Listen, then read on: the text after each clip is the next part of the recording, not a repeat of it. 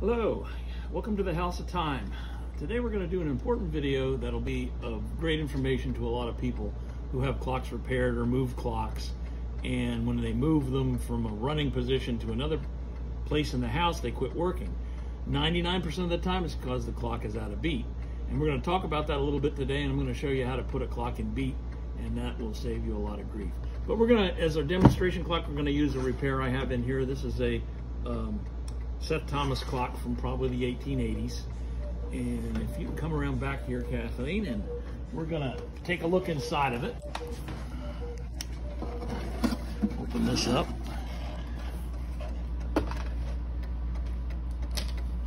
I want to talk just a minute about how this works. Um, here's your mainspring down here, and that's wound all the way up, which we're to do another video on clock myths and winding the mainspring too tight is going to be one of them. We're going to do a video on that shortly. But assuming the clock is in good running condition and assuming the escapement, which is this, this is the escapement part right here. You have the pallet and the escape wheel. Assuming that that is in working condition, it's pretty easy to put a clock in beat. So here's how it actually works. And I'm not gonna, I'm just gonna be brief on this because I know a lot of people don't care about that, but you have to understand a little bit about this to put it in beat. So this is where the clock is stopped, okay? Now, as soon as you give this a little bit of push, what's happening is on this tooth here, you can see a tooth comes down and hits this inclined plane on this pallet, which pushes it in this direction. All right, when it pushes it in this direction, then here's your pendulum that's suspended right here on the end of that, the pendulum rod, there's a, it goes through a hoop in this wire. That's the verge wire right here. And it'll give it a little impulse this direction. And then when the tooth comes over and hits this one, there's a little angle right here and it will push it away from it. So you have virtually what you have is a push, push, push, push, push, push. From each, it receives one impulse from each tooth on each side. So what you have to be careful of is you have to make sure that it gets an equal impulse on both sides. When a clock is out of beat, it'll go tick, tick, tick, tick, tick, tick, and I'm gonna throw this clock out of beat and then I'm gonna put it back in so you can hear the difference. Now, you can hear it now, and that's pretty close. Now, what I'm gonna do is I'm gonna throw this out of beat a little bit.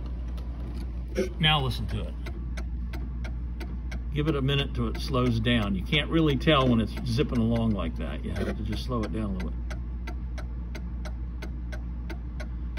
Here have, has, has a heavier beat on one side. Dunk, dunk, dunk, dunk. Now I'm gonna throw it way out of beat and you can really tell, okay? In fact, it's so far out of beat it won't run. So let me put it back a little bit.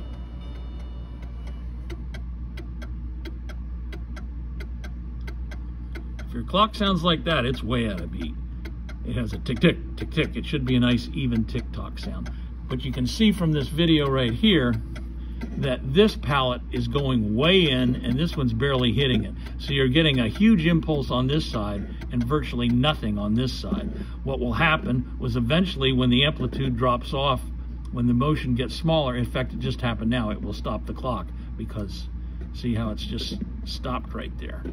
So it's real easy to put a clock in beat. First, make sure it's level, make sure the clock is in good condition, and then this wire right here is a verge wire. It's brass and it's generally very soft, so you can actually bend it. So here's what we're gonna do.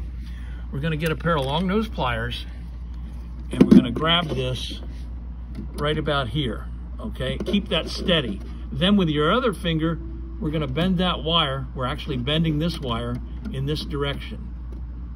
Now we'll try it again. Tick, tick, tick, tick. It's still out of beat. Okay, so let's do it a little bit more. Bend that wire just a little bit more. Better, but it's still out of beat. All right, let's try it a little bit more. I might have went too much, so you go back the other way.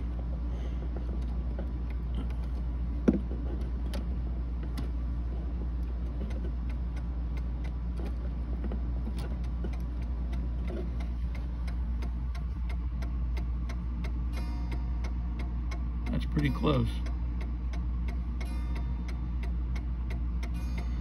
See how it's nice, an even sound beat?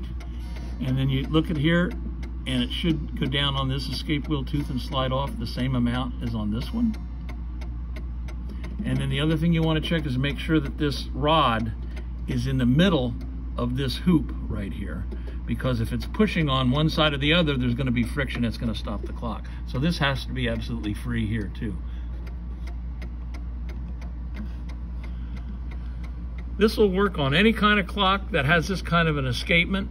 Um, it'll work with a deadbeat or a recoil escapement. We'll get into all the different kinds of escapements in, in other videos, how to tell the difference between the two. And um, we're gonna do some uh, tall case beat adjustments here shortly also.